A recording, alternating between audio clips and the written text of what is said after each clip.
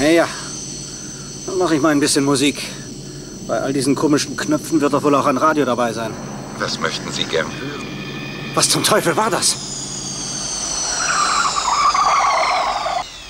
Nein, ich will wissen, wer du bist und wieso du alles hörst. Ich bin die Stimme des Mikroprozessors des Modells 2000 von Knight Industries, KITT für den einfachen Sprachgebrauch. Oder KIT, falls Sie das vorziehen. Nein, das ziehe ich nicht vor. Und ich beabsichtige auch nicht, in einem Auto herumzufahren, das mir widerspricht. Hast du kapiert? Entweder zieht Devon dir den Stecker raus oder du besorgst dir einen anderen Fahrer. Leider bin ich nicht darauf programmiert, Ihre Wünsche zu übergehen. Oh, das höre ich richtig gern, Kit.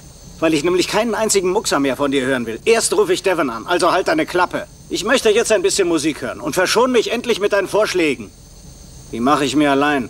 Wie Sie wünschen, Mr. Knight. Aber da ich feststelle, dass Sie sich in einer übermüdeten, reizbaren Stimmung befinden, darf ich vorschlagen, dass Sie das Auto auf die automatische Steuerung umschalten, der Sicherheit wegen. Nein, das darfst du nicht. Hast du verstanden? Gute Nacht.